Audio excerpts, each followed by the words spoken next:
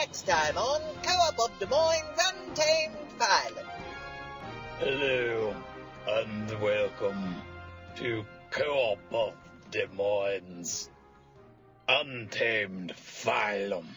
This week we will be discovering the world of the vampire from their social customs to